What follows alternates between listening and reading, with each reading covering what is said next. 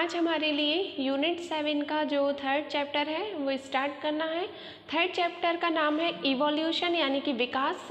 इस चैप्टर में हमारे लिए पढ़ना है कि किस प्रकार से पृथ्वी की उत्पत्ति हुई और अभी तक हम पृथ्वी पर जितनी भी वस्तुएँ देख रहे हैं चाहे वो जीवित हो या अजीवित हो उन सभी की उत्पत्ति कैसे हुई कैसे उनका विकास हुआ और आ, आज का जो युग है यानी कि वर्तमान युग तक का जो विकास है हमें वो पढ़ना है कि आदिम युग से वर्तमान युग तक किस प्रकार से विकास हुआ?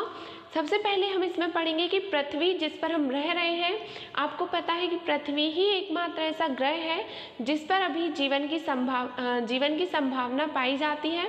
अदरवाइज़ हम देखें कि मार्स यानी कि जो मंगल है, उस पर भी ऐसी संभावनाएँ मिल रही हैं। फिर भी उतने अच्छे से अभी साइंटिस्ट इसको प्रूफ नहीं कर पाए कि हम मंगल पर भी रह सकते हैं।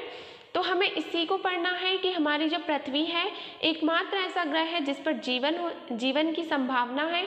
हम जीवित रह पा रहे हैं और इसका एक कारण है कि जो पृथ्वी है उस पर पर्याप्त मात्रा में हमारे जीवन की जो मूलभूत आवश्यकताएँ हैं, उनको पूरा करने के पर्याप्त मात्रा में साधन उपलब्ध हैं। जैसे कि हम बात करें कि हमारे लिए सबसे ज़्यादा जो ज़रूरी है, वो है ऑक्सीजन, जो कि हमारी जीवन दाहनी गैस कहलाती है। ऑक्सीजन के बगैर हम जीवित नहीं रह सकते। और लिविंग ऑर्गेनिज्म क्या जो नॉन लिविंग ऑर्गेनिज्म है, वो भी ऑक्सीजन के बगैर जीवित नहीं रह सकते।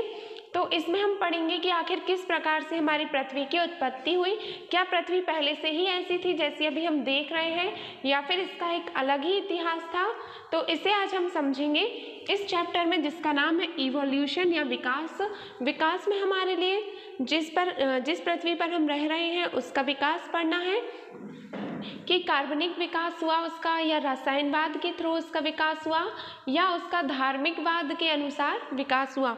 कुछ जो साइंटिस्ट थे जैसे कि एक पादरी थे, उनका नाम था फ्रांस लॉरेंज। उन्होंने कहा कि जो जीवन की उत्पत्ति है, वो एक धार्मिक घटना है, जिसमें सृष्टिवाद आया है और सृष्टिवाद के अनुसार ही पृथ्वी की उत्पत्ति हुई है। लेकिन जो हमारे आधुनिक साइंटिस्ट थे, वो ये मानने में बिल्कुल भी बिलीव नहीं करते थे कि जो सृष्टिवाद है, उसके अनुसार ही पृथ्वी की ओरिजिन या उत्पत्ति हुई है। तो सबसे पहले हम देखेंगे कि पृथ्वी की उत्पत्ति कैसे हुई। तो पृथ्वी की उत्पत्ति का एक बहुत बड़ा इतिहास है। साइंटिस्ट का कहना है कि जो हमारी ब्रह्मांड है यानी कि जिस ब्रह्मांड का भाग हमारा आ, मतलब जो हमारी पृथ्वी है वो जिस ब्रह्मांड का हिस्सा है उस ब्रह्मांड की उत्पत्ति आज से लगभग पंद्रह बिलियन वर्ष पूर्व हुई। पंद्रह बिलियन वर्ष पूर्व हुई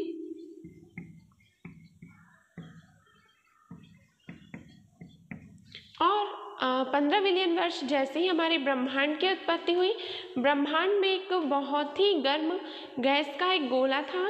इस गर्म गैस के गोले के लिए इलेम कहा गया।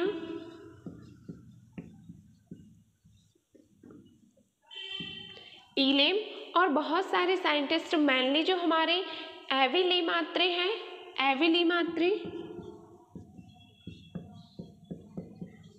एविली मात्रे जो हमारे साइंटिस्ट हैं मेनली उनका यही मानना है कि सबसे पहले पृथ्वी जो है वो एक बहुत ही बड़ा गर्म गैस का गोला था, जिसमें न्यूट्रॉन्स इलेक्ट्रॉन्स प्रोटॉन्स ये सभी जो फंडामेंटल पार्टिकल्स होते हैं, ये सभी उपस्थित थे। देन इन पार्टिकल्स में रिएक्शंस हुई।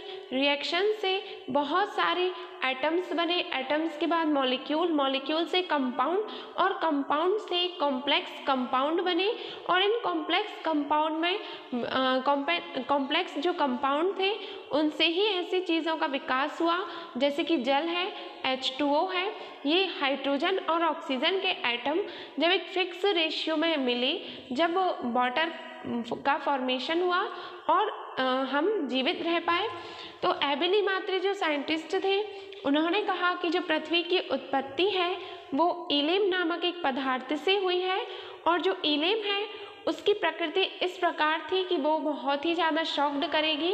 इले में कितना बड़ा गैस का गोला था जिसका आप अंदाज़ा भी नहीं लगा सकते और इस गर्म गैस के जो गोले का टेम्परेचर था, वो पाँच हज़ार से छः हज़ार डिग्री सेल्सियस था। मान लीजिए ये हमारा इलेम है। इसका जो टेम्परेचर था, वो 5000 डिग्री सेल्सियस से 6000 डिग्री सेल्सियस था। और इस जब पदार्थ में अचानक बहुत बड़े बड़े पदार्थ जो थे, वो इस इलेम नामक गोले से टकराए देन जब वो पदार्थ इस गोले से टकराए तो इसमें बहुत ही बड़ा एक विस्फोट हुआ, एक भयंकर विस्फोट हुआ और इस विस्फोट के लिए जो साइंटिस्ट हैं, उन्होंने महाविस्फोट कहा, यानी कि big bang theory.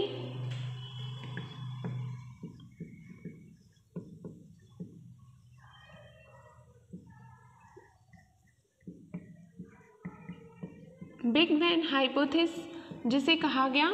तो बिग बैंग थ्योरी में यही था कि जो इलेम था, वो एक गर्म गैस का गोला था, जिसमें बादल और बहुत सारे ऐसे सब्सटेंट थे, ऐसे पदार्थ थे, जिनका बहुत ही ज़्यादा संघट्य के साथ, टकराव हुआ कोलाइजन के साथ टकराव हुआ और इस कोलाइजन के कारण ये जो गोला था वो टूटकर बिखर गया और ये जो गोला था वो नौ ग्रहों में बट गया, जिसे हम बुध, शुक्र, पृथ्वी, मंगल, अरुण, वरुण, यम के नाम से जानते हैं। जैसे अभी प्रेजेंट में यम जो है, यानी कि प्लूटो जो है, वो ग्रहों की श्रेणी में नहीं आता, इसलिए आठ ग्रह ही बचे हैं। तो एक और साइंटिस्ट आए थे, उन्होंने बोला लाप्लास नाम था उन साइंटिस्ट का। लाप्लास? लाप्लास जो साइंटिस्ट थे, उन्होंने बोला कि जो पृथ्वी है, उसकी उत्पत्ति एक ऐसे पदार्थ, ऐसे गोले से हुई है, जिसका नाम है नेबुला। और ये जो नेबुला था, वो बहुत ही ज़्यादा तेज़ गति से ऐसे राउंडेड मोशन कर रहा था। और इसके मोशन करने से जब इसमें कोलाइजन हुआ तो ये टूट गया और नौ ग्रहों में बट गया। देन इसका जो बचा हुआ भाग था, इसका जो बचा हुआ भाग था, उसने सूर्य का रूप ले लिया, यानी कि जो नेबुला था। इस नेबुला से हमारी नौ ग्रहों की उत्पत्ति हुई।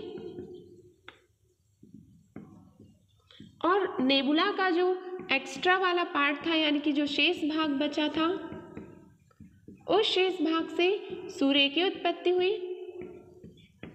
अब इसके बाद साइंटिस्ट ने ये भी पता कर लिया था कि किस प्रकार से आ, मतलब कि इसकी ग्रहों की उत्पत्ति हुई और इन्हीं ग्रहों में एक बहुत ही जो इम्पोर्टेंट ग्रह है जिस पर अभी हम जीवन यापन कर रहे हैं उसका नाम अर्थ है यानी कि पृथ्वी। तो साइंटिस्ट ने ये भी आ, मतलब एनालिसिस कर लिया था उस टाइम कि जो अर्थ है उसकी उत्पत्ति 300 से साढ़े तीन करोड़ वर्ष पूर्व हुई और इसके बाद जो साइंटिस्ट थे, उन्होंने कहा कि ये जो पृथ्वी है, ये ही एकमात्र ऐसा ग्रह है जिस पर हम रह सकते हैं, ऑक्सीजन भी इस पर है और खाने योग्य जो संसाधन है, खाद्य संसाधन भी पर्याप्त मात्रा में इसमें उपस्थित हैं। फिर इसके बाद एक और यहाँ पे टर्म आया कि साइंटिस्ट ने फिर सोचा कि ठीक है, हमने पृथ्वी के ओरिजिन को देख लिया कि वो किस टाइप से उसका निर्माण हुआ। ये तो बिग बैंग हाइपोथेस थी, यानी कि बिग बैंग हाइपोथेसिस के अकॉर्डिंग हमने ये पढ़ा कि किस प्रकार से इलेम से हमारी पृथ्वी की ओरिजिन हुई। लेकिन इसके बाद बहुत सारे साइंटिस्ट जो थे, वो ये बिग बैंग थ्योरी को मानने तैयार नहीं थे। उन्होंने रसायनवाद को रसायनवाद को ही इसका बहुत ही बड़ा प्रूफ माना कि रासायनिक जो पदार्थ थे, उनमें रासायनिक अभिक्रियाओं के कारण ही पृथ्वी की उत्पत्ति हुई। अब इसके बाद जो साइंटिस्ट थे, उन्होंने बताया कि जो अर्थ है, अर्थ से जो सन की दूरी है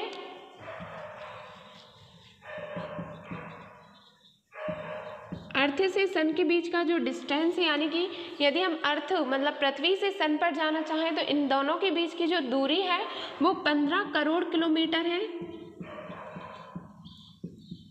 पंद्रह करोड़ किलोमीटर है। और इसके बाद उन्होंने सोचा कि जब हम पृथ्वी से सूर्य के बीच की दूरी को एनालिसिस कर सकते हैं, उसे ज्ञात कर सकते हैं तो क्यों ना हम पृथ्वी से जो हमारे चंद्रमा की दूरी है, वो भी ज्ञात करें। पृथ्वी से जो हमारा मून है, यानी कि चंद्रमा, इस चंद्रमा की जो दूरी है, वो चार हज़ार चार लाख चौरासी हज़ार किलोमीटर है। और आपने देखा कि कितना ज़्यादा अर्थ और सन के बीच डिस्टेंस है, और जो अर्थ और मून है, उसके बीच भी कितना बड़ा डिस्टेंस है। आपको ये पता होगा कि जो हमारी अर्थ है, वो एक ग्रह है, एक प्लैनेट है और इस प्लैनेट के अराउंड यानी कि इसके चारों ओर, ये हमारा जो अर्थ है इस अर्थ के चारों ओर जो पृथ्वी है वो एक निश्चित मार्ग में गति करती रहती है और उसके चक्कर लगाती है परिक्रमा करती है और इसी कारण जो चंद पृथ्वी है उसका एकमात्र जो नेचुरल प्लैनेट है या प्राकृतिक प्लैनेट है वो चंद्रमा या मून को माना जाता है।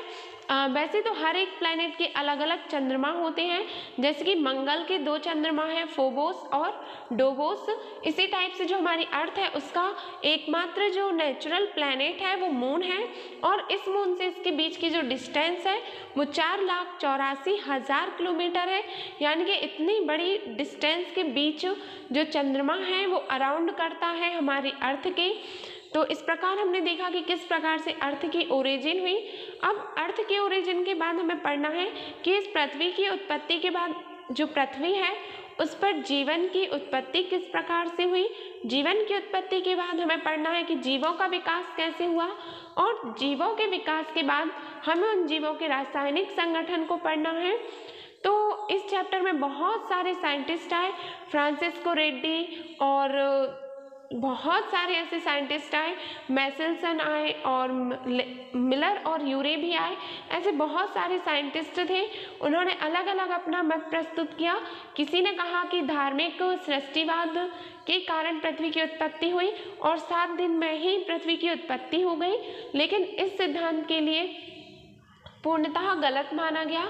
देन इसके बाद साइंटिस्ट ने रसायनवाद से रिलेटेड कुछ एक्सपेरिमेंट किए, जिसमें उन्होंने बताया कि जो केमिकल कंपाउंड है, उन केमिकल कंपाउंड से नए कंपाउंड बने, जैसे कि प्रोटीन है अमीनो एसिड्स है, ये सभी बने देन इनसे ऑर्गेनिज्म बना और ऑर्गेनिज्म ने ऑर्गेनिज्म से ही एक बॉडी का फॉर्मेशन हुआ और पृथ्वी पर जीवन की उत्पत्ति हुई। तो इवोल्यूशन जो चैप्टर है, इसमें हम क्रम से पढ़ेंगे कि किस कौन कौन से साइंटिस्ट आए और उन्होंने अपने कौन कौन से सिद्धांत प्रतिपादित